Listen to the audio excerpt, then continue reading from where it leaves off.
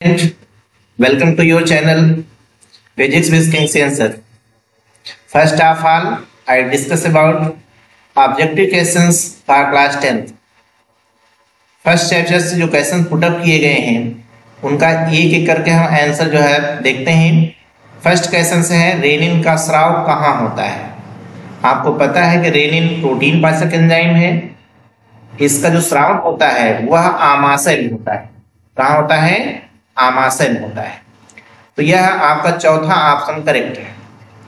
इसी प्रकार से दूसरा क्वेश्चन आप देखेंगे।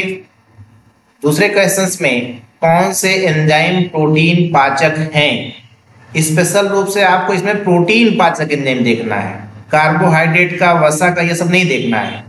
ओनली प्रोटीन पाचक एंजाइम देखना है। तो इसमें टाइलिन पेप्सिन इरेप्सिन इन तीनों में से जो टाइलिन होता है, वो कार्बोहाइड्रेट का पाचन करता है तो ये ऑप्शन आपका गलत है। और बी वाले में ट्रिप्सिन है एमाइलेज है। ट्रिप्सिन तो प्रोटीन का पाचन करता है, लेकिन एमाइलेज जो है कार्बोहाइड्रेट का पाचन करता है, ये भी गलत है। थर्ड ऑप्शन है ट्रिप्सिन पेप्सिन इरेप्सिन यही तीनों प्रोटीन का पाचन करते हैं। और बाकी इनमें से कोई नहीं है भी ऑप्शन आपका गलत है। इसी प्रकार से आप तीसरे क्वेश्चन पर आते हैं। तीसरे क्वेश्चन में, उसकी प्रक्रमों में ऊर्जा मुद्रा है। कहने का तात्पर्य है, कोशिका में जो ऊर्जा का निर्माण होता है, वो किस रूप में होता है? ऊर्जा का निर्माण माइटोकांड्रिया में तो होता है, लेकिन किस रूप में होता है, क्वेश्चन यह पूछता है। इसमें आप देखते हैं, दूसरे ऑप्शन में एटीपी है, एडनोसिन ट्राइफास्फेट। तो एटीपी के रूप में ऊर्जा का निर्माण होता है, यही एटीपी ऊर्जा मुद्रा है। इस प्रकार से आपका ये दूसरा ऑप्शन करेक्ट है। और तीसरा, चौथा, ये दोनों गलत है। इसी प्रकार हम चौथे क्वेश्चन पे आते हैं। एटीपी तथा एनएडीपी इंटू टू एच का होता है। आप क्वेश्चन को ध्यान से देखिएगा। एटीपी तथा एनएडीपी इंटू टू एच का निर्माण होता है। उसका लोकेशन पता करना है। इसमें माइटोकांड्रिया में नहीं होता है। सेकेंड ऑप्शन देख लीजिए। क्लोरोप्लास्ट में आपको पता है कि प्लांट्स में जो फोटोसिंथेसिस प्रक्रिया होती है तो उसके लिए क्लोरोफिल आवश्यक होता है। क्लोरोफिल पाया कहा जाता है? क्लोरोप्लास्ट में पाया जाता है। और इसी क्लोरोप्लास्ट में देखते हैं फोटोसिंथेसिस की प्रक्रिया दो चरणों में संपन्न होती है। उसमें जो फ़र्स्ट चरण होता है, वह लाइट रिएक्शन है और जो सेकंड चरण होता है, वह डार्क रिएक्शन होता है। इसमें जो लाइट रिएक्शन होता है, उसका जो उत्पाद होता है, वही एटीपी तथा एनएडीपी इंटू टू एच के रूप में होता है। तो इस प्रकार से यह दूसरा ऑप्शन आपका करेक्ट है। और तीसरा, चौथा ऑप्शन आपका गलत है। इसी प्रकार से हम अगले क्वेश्चन पे आते हैं। वह पांचवा क्वेश्चन पाचन क्षेत्र में भोजन के साथ मिलने वाले पहले एंजाइम का नाम क्या है? बहुत केयरफुल होकर क्वेश्चन देखिएगा। पाचन के क्षेत्र में भोजन के साथ मिलने वाला पहले एंजाइम का नाम है। जनरली आप देखेंगे तो मुख के अंदर टाइलिन नामक एंजाइम मिलता है, लेकिन यहाँ पे टाइलिन का कोई ऑप्शन नहीं दिया गया है।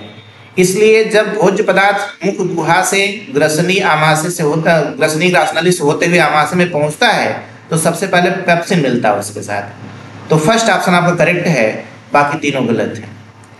इस प्रकार से हम अगले क्वेश्चन पे आते हैं। छठा क्वेश्चन है, मछली के हृदय में कोष्ठों की संख्या होती है। इसमें चैम्बर्स आपको देखना है। उसमें मछली के हृदय में मुख्य रूप से दो चैम्बर्स होते हैं, जिसमें एक आलिंद होता है और एक निलय होता है। तो आपका जो ऑप्शन करेक्ट है, वह बी सही है। बाकी वन ए और सी और डी ये ऑप्शन आपके गलत है।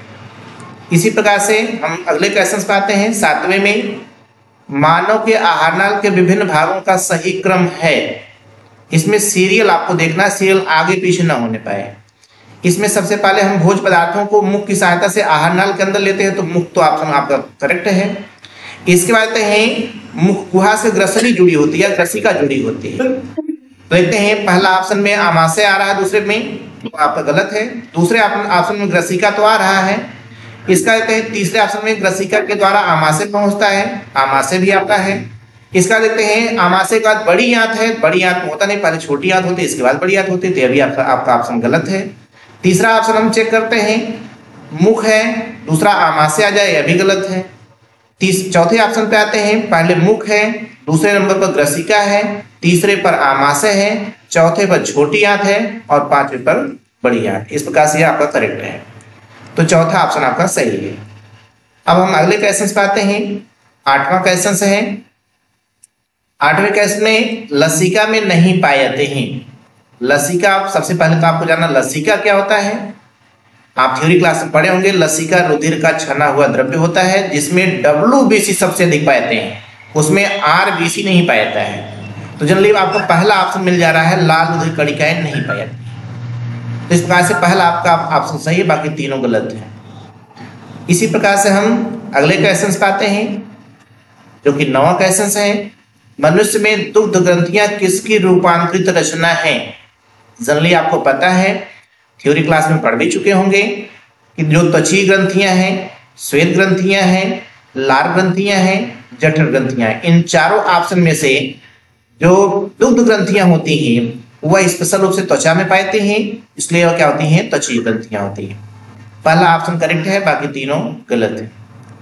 इसी प्रकार से हम अगले क्वेश्चन पाते हैं। जठर रस स्रावित होता है। जठर रस, जनरली आपको पता है कि यह जठर ग्रंथियों स्रावित होता है और जठर ग्रंथि पाई कहा जाती है? आमाशय पाई जाती है। तो इसमें अग्राशय होता नहीं है पित्ताशय होता नहीं है। तीसरे ऑप्शन पर है आमाशय आमाशय में जठर ग्रंथि पाई जाती है जठर रस का स्राव होता है। इसी प्रकार से हम अगले क्वेश्चन पाते हैं। स्तनधारियों की लार में कौन सा एंजाइम होता है? अभी पहले क्वेश्चन हम लोग चर्चा किए थे। कि स्तनधारियों के लार में जो पाए जाने वाला एंजाइम उसका नाम टाइलिन है। यह टाइलिन करता क्या है? यह मंड को सरकरा में बदलने का कार्य करता है, जो कि स्पेशल रूप से लार के माध्यम में गुहा में आता है, जो कि मंड को सरकरा में बदलने का कार्य करता है। इस प्रकार से पहला ऑप्शन करेक्ट है, बाकी तीनों ऑप्शन आपका गलत है। इसी प्रकार से हम अगले क्वेश्चन पाते हैं। आहार नाल के पेशी संकुचन को कहते हैं। उसमें संकुचन जो प्रक्रिया होती है, वह अनैच्छिक पेशियों में होती है। थ्योरी क्लास में पढ़ाया गया है। इसमें आप देख रहे हैं, अवशोषण की प्रक्रिया होगी नहीं, ये गलत है आपका। पाचन, ये होता नहीं है। संकुचन की जो प्रक्रिया होती है, वह क्रमाकुंचन के द्वारा होता है। ये आपका तीसरा ऑप्शन करेक्ट है। बाकी चौथा गलत है। इसी प्रकार से हम अगले क्वेश्चन पाते हैं। लसिका में नहीं पाते हैं अभी ये क्वेश्चन रिपीट किया गया है। देखते हैं। लसिका में आरबीसी नहीं पाते हैं, जिसको आप रेड ब्लड कॉर्पस या लाल रुधिर कणिका कहते हैं। ये नहीं पाते हैं, बाकी जो है डब्ल्यू बी सी उपस्थित होते हैं। इसी प्रकार से अगला क्वेश्चन है, जठर रस स्रावित होता है। अभी अभी रिपीट किया गया। जठर रस जठर ग्रंथियों द्वारा स्रावित होता है और जठर ग्रंथि कहाँ पाई जाती है? आमाशय में पाई जाती है। तो तीसरा ऑप्शन आपका करेक्ट है। इसी प्रकार से हम पंद्रहवें क्वेश्चन पे आते हैं। इस फैगमोमैनोमीटर नापते हैं। से मापते हैं। जनरली आपको थ्योरी क्लास में बताएगा, इस फैगमोमैनोमीटर जो होता है, वह रुधिर दाब को मापा जाता है। देखते हैं। और बाकी एक ऑपरेटर्स का नाम और सुने होंगे स्टेथोस्कोप जिसको कॉमन वर्ड में आप जो है आला कहते हैं। यह स्टेथोस्कोप जो होता है, वह पल्स रेट को मापने के लिए यूज़ किया जाता है। और इसमें रुधिर दाब मापने के लिए इस फैगमोमैनोमीटर का प्रयोग किया जाता है। इस प्रकार से आपका पहला ऑप्शन सही है, रुधिर दाब। इसी प्रकार से हम अगले क्वेश्चन पाते हैं। सोलहवा क्वेश्चन है। त्रिवलन कपाट के बीच में होता है। कहने का तात्पर्य यह है, जो त्रिवलनी कपाट होते उसका लोकेशन आपको देखना है।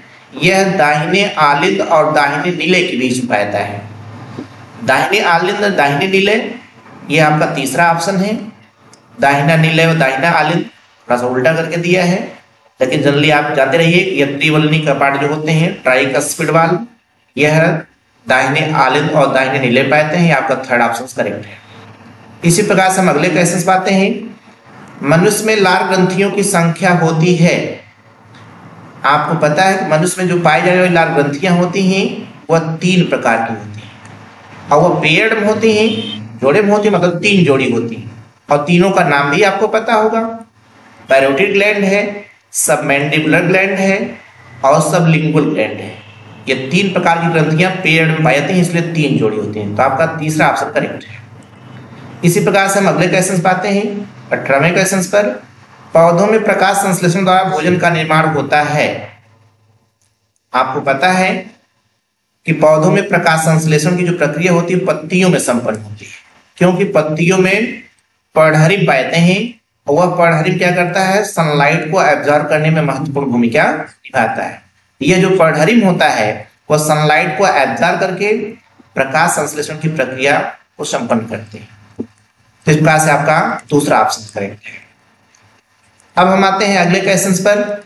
उन्नीसवा क्वेश्चन उन्नीसवें क्वेश्चन में पादप निम्नलिखित प्रक्रम द्वारा वायु को शुद्ध करते हैं। अब इसमें प्रक्रिया आपको देखनी है कि पादपों में कौन सी प्रक्रिया के द्वारा वायु का शुद्धिकरण होता है इसमें ऑप्शन आपका पी प्रकाश संश्लेषण द्वारा। क्यों? क्योंकि आपको पता है कि प्रकाश संश्लेषण के फलस्वरूप ऑक्सीजन गैस मुक्त होती है, जो वातावरण में ऑक्सीजन को बैलेंस ऑक्सीजन के बैलेंस को मेंटेन बनाए रखती इसलिए आपका सेकंड ऑप्शन करेक्ट है।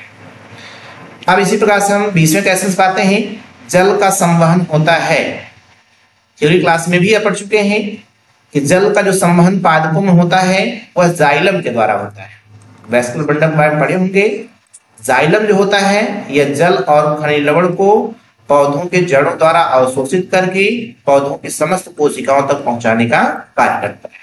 इस प्रकार से यह जो ऑप्शन आपका है, वह ए ऑप्शन करेक्ट है। थोड़ा सा आगे पीछे है। पहले बी ऑप्शन दिया है, बाद में ए ऑप्शन दिया है, थोड़ा रिमाइंड कर लीजिएगा उसको। यह ए ऑप्शन आपका करेक्ट है। अब हम अगले क्वेश्चन पे आते हैं। अगला क्वेश्चन आपका इक्कीसवां है। वाष्पोसर्जन का महत्व है। वाष्पोसर्जन के बारे में पहले समझिए कि पौधों के वायवी भाग से जल के वाष्पित होने की प्रक्रिया होती है, वो वाष्पोसर्जन होती है। इसमें आप ऑप्शन देख लीजिए। पौधे के वायवी भागों तक जल पहुँचना। यह तो प्रॉपर रूप से जल का संवहन हो गया यह तो नहीं हो सकता है। दूसरा है अतिरिक्त जल को त्यागने व ताप के नियमन यह आपका करेक्ट है। जो उसकी जैविक क्रियाओं में जैविक क्रिया के अतिरिक्त जो जल होते हैं, उनको बाहर निकालने, जो वाष्प के रूप में बाहर निकालते हैं और साथ साथ उसके प्लांट के बॉडी के टेम्परेचर को मेंटेन बनाए रखते हैं, उसमें वाष्पोत्सर्जन की महत्वपूर्ण भूमिका होती है। इस प्रकार से आपका बी ऑप्शन आपका आवश्यकता होती है। अब हम अगले क्वेश्चन पाते हैं। तेईसवें पर पौधों व वायुमंडल के बीच गैसों का आदान प्रदान होता है।